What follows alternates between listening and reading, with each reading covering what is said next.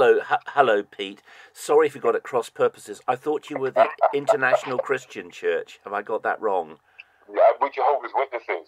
Right. I've also been reading your book, Enjoy Life Forever, but I was expecting a call from the International Christian Church, so I got I got that wrong. I'm sorry. No, it's okay. It's all right. It's just because did you think we were connected to the international, or because we have to answer any questions based on our publication? No, no. It's just that recently I've been I've been um, reading the publications of the ICC, and I thought you were ICC. I do beg your pardon. Some time ago, I mean, I still pick it up occasionally and look at it. I've been reading your book, Enjoy Life Forever. Yeah, excellent. Sorry. And what what triggered your interest? Living in a paradise earth? Um, well, I was puzzled about several things in the book. Um, lesson 54 the role of the faithful and discreet slave. Uh, in the summary, let me just go to the summary on page 228. It says the governing body is the faithful and discreet slave appointed by Christ. It gives direction and spiritual food to Christians earthwide.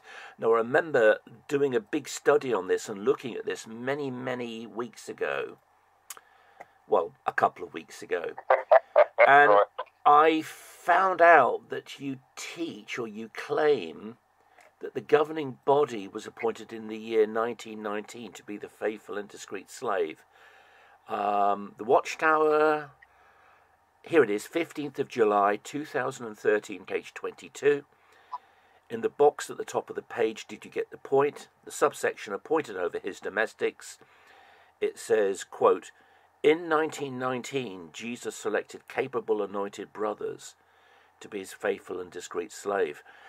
Now, I was puzzled by that. Is there any biblical evidence that Jesus appointed a governing body as his sole representative in the year 1919? Well, if you go back, what we do, we follow the patterns of early Christianity.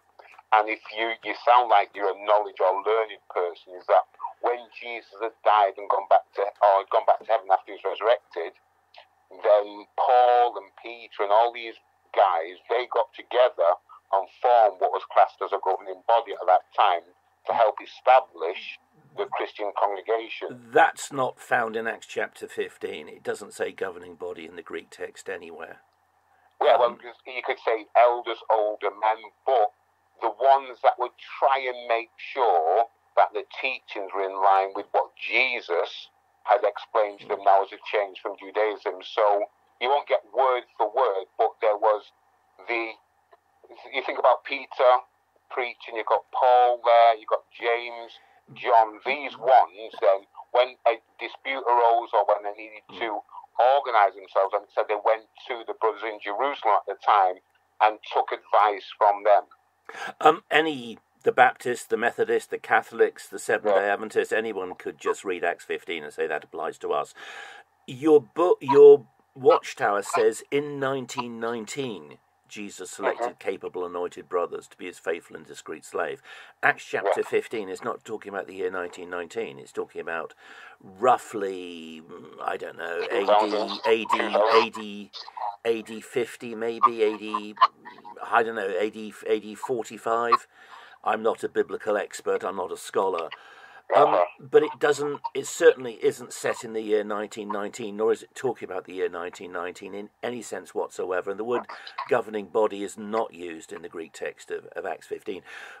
Your book says in 1919, Jesus selected capable anointed brothers to be his faithful and discreet slave. Lots of different groups make similar claims that God chose them Yeah. as his sole representative on earth. Mhm. Seventh day Adventists say they, they were chosen by God in the 1840s. Mormon Mhm. claim the Mormons claim God chose them in the 1830s. The Christadelphians, Yeah. I think, in the 1860s. Victor Paul Wierwille claimed God chose them in the 1850s. You know, Uh, you know your stuff. I used to be a Pentecostal, and I got involved in a very extreme Pentecostal group um, Wow. called the Oneness or the Apostolic Movement, Jesus Only. Um, They make similar claims. Is there? Can you show me where in the Bible does it say God will choose? A faithful and discreet slave in the year 1919. It's the year Yeah, 1919. 1919 wasn't significant in that sense. It was it wasn't a March year, but when you look at biblical prophecies of when, if you go back to 607, when the fall of Jerusalem, you come all the way down to 1914. 1914 was the year that we say from Scripture that Satan was kicked out of heaven. And that was probably a pivotal date in the sense that it ties in with Bible prophecy.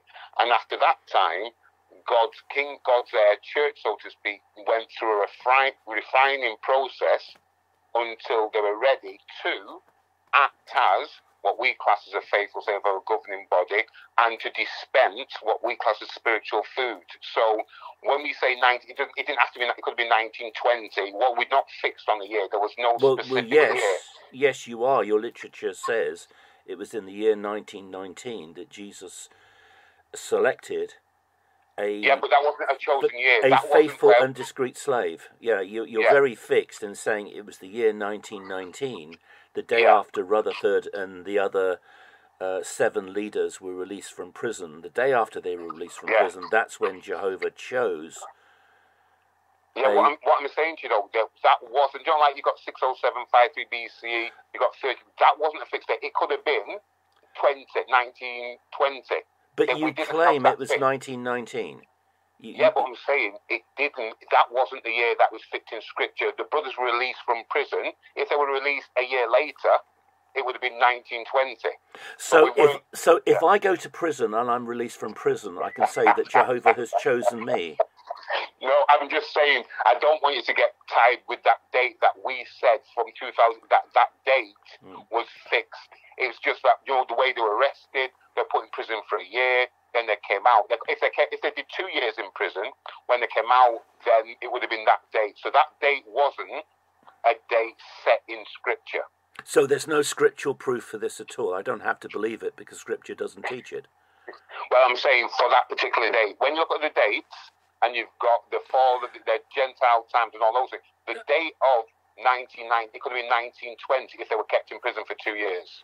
I mean, Jerusalem did not fall in 607. It, it, it, it fell in 587, 586, 587. Uh, you know, all of the encyclopedias and Bible dictionary give that date. No one says Jerusalem fell in 607. Um, the Watchtower used to teach that the last days began in 1799. Christ's second presence was 1874. Christ became king in 1878. It wasn't until decades later they did away with 1799 and taught second presence of Christ was from 1914. I believe it's October 1914, is it? Um, hey, you want to catch me out on dates, but we, we think the lights got bright in 1914. When you talk about pivotal dates, 1914 is a, a as a year that would say yes, it happened. Now, if you said it's October, September, whenever, 1914 was the year when the world went mad. Well, I'm, um, I can't see that in scripture. I th- I did read in your literature that it was it was October 1914, but the First World War didn't begin in October 1914. You could say that Satan was cast out of heaven in October 1914 due to the First World War. The First World War began in late July 1914, and it began in very early August uh, for the British and the French involvement in the First World War. But it started it started in late July when Austria attacked Serbia. Yeah. Um, you you mentioned spiritual food. Let me just read that. Um, page two two eight again. The summary: the governing body is the faithful and discreet slave. I mean, I'd want. Could you prove that? Appointed by Christ. Where does it say a group of men have been appointed by Christ? Because the Pope says he's appointed by Christ. The, the Mormon leaders say they're appointed by Christ. Lots and lots and lots of Pentecostal groups claim that they have a special appointment by Christ or by God or by Yahweh or by Jehovah. It then says it, that's the governing body, gives direction and spiritual food to Christians earthwide. What is spiritual food? just enlightenment about Bible verses and text to help you to understand where we are in the stream of time and how we believe from Scripture this wicked world, not the world physical world, but the world of wicked people will be finished very, very soon. So we know many people that, you unlike you, you're very good. There's many people that read Bible for years and don't come to any spiritual enlightenment. They just think it's a good book and it comes out at birthdays, Christmas, celebrations. But you, as we say, that Bible to us contains spiritual food. Sorry, what is spiritual food? Just define that term. En- Enlightenment, the ability to read and understand what these things mean for our day. Where's that in the Bible? And I'm looking for the exact phrase spiritual food, which, by the way, is used once in the Bible. Only once in the Bible. Where does the Bible say that's the meaning of spiritual food? Is it Matthew 24? No, it doesn't say spiritual food, it says food. What is it? say? Food, uh, yeah, food, well, the thing is, food is not physical food, it's spiritual enlightenment, isn't it? So Jesus said that his, his food was to do the will of his Father. He used food as a spiritual task, wasn't it? Um, he's Yeah. using it there as a synonym, but the one instance of spiritual food is 1 Corinthians 10.3, and it means physical food. It's referring to the manna that fell from heaven. Do you mind if I just read from verse 1 to get the context to show you that? Yeah, but when you talk about the physical food for the manna, yeah, they're just using that as an example. We, we, Could, we could, can, I, could I read the text of the Bible? Because to me, I, I want to get what I believe from the Bible.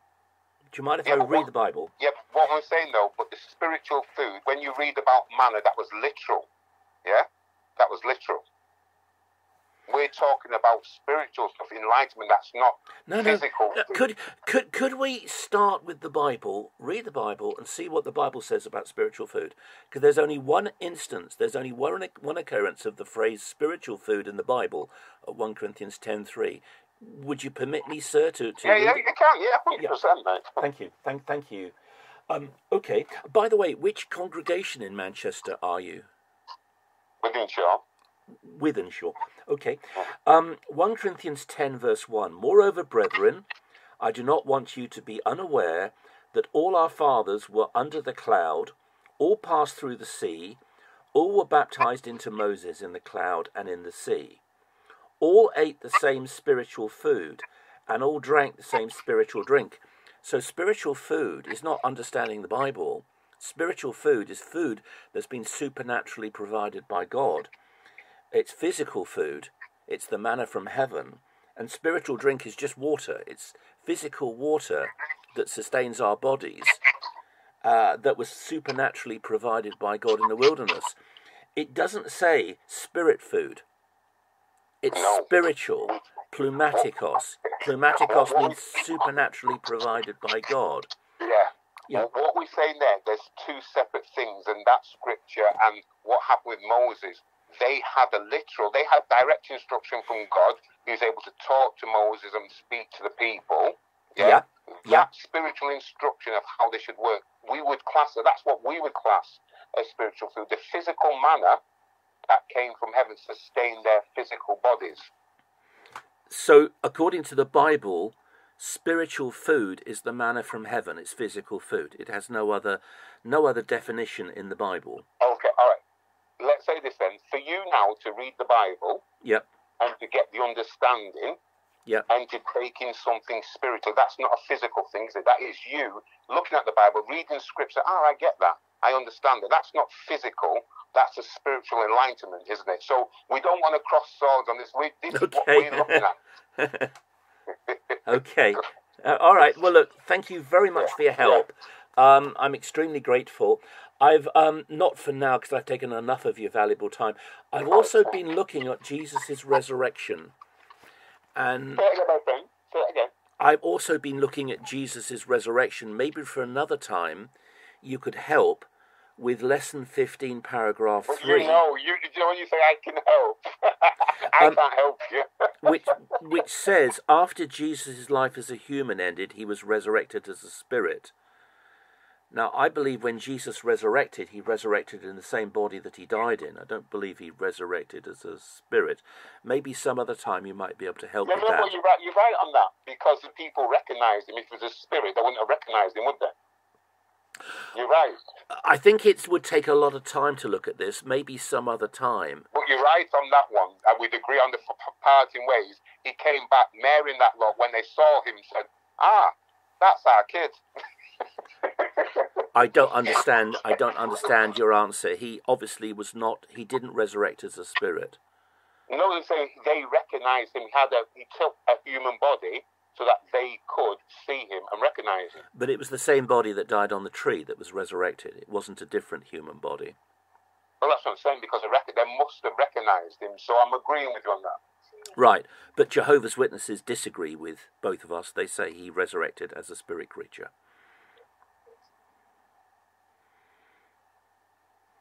If you look at the insight in the scripture, it says that Jesus resurrected as a spirit. The body was done away with, that's why the tomb was empty. It dissolved into gases. And then he resurrected as a spirit that post resurrection manifested about um, 8 to 10, depending on how many post resurrection um, appearances there were. He, he resurrected a different temporary physical manifested body on each Yeah, of those that's right. occasions. Well, that's not what I've said. I've said the opposite of that. We're not agreeing. I've I, I've said the complete opposite of that. I hold. I would underst- I would hold to the standard Protestant position on that. Maybe if you look at that, Yeah, and you, you look at the insight of the scriptures. Maybe we could talk.